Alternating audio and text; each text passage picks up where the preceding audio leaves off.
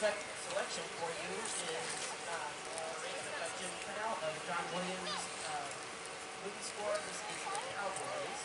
This is a typical, typical example of John Williams' capacity to enrich a film story with an almost narrative musical score. Through music, we are transported to the Old West and experience joys and hardships of cowboy life. Taken from the 1972 motion picture The Cowboys, starring John Wayne and Roscoe Lee Browne, music complements the story of a 60-year-old Montana cattleman including lists and ultimately mentors 10 schoolboys and cowboys after the regular range hands have left with gold rush fever. The 400-mile cattle drive provides boys with a different and harsher school as they learn the rigors of the job and how to deal with strokes. The music conveys the high spirit of wild horses and their entertainment.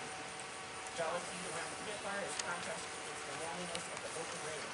The plains have a beauty, though which is reflected the song of the lark.